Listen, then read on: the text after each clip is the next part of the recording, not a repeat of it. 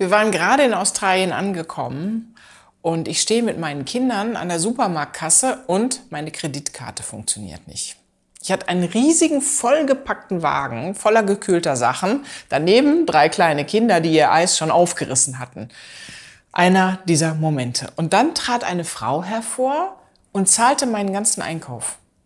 Geld wollte sie nicht zurück, aber sie sagte, vielleicht können Sie es mal jemandem weitergeben ehrlich gesagt, ich bekomme jetzt noch eine Gänsehaut, wenn ich dran denke. Aus der Panne wurde ein besonderer Moment. Und vielleicht bietet sich dir ja heute auch eine kleine Gelegenheit, diese Welt ein wenig schöner zu machen.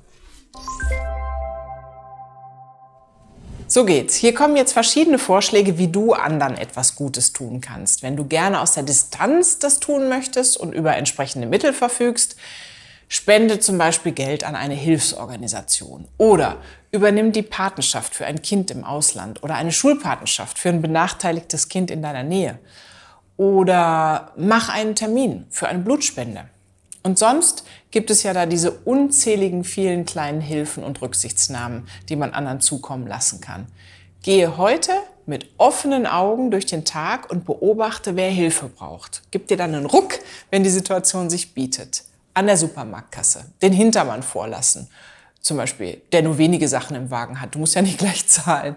Oder Rücksicht auf andere Menschen nehmen. Oder einer jungen Mutter helfen. Das finde ich zum Beispiel immer so wichtig, den, den Kinderwagen in den Bus zu heben. Oder wenn das Kind schreit, einfach ablenken.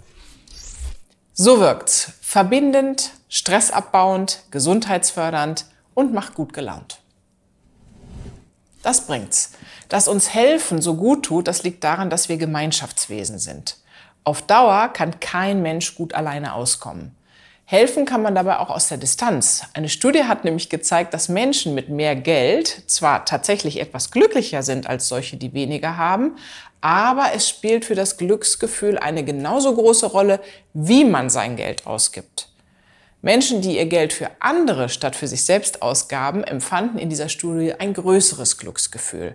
Und beim aktiven Handeln, da erleben wir dann auch noch Freude. Wir haben einen Dank, einen Blumenstrauß vielleicht oder spüren einfach nur eine Umarmung.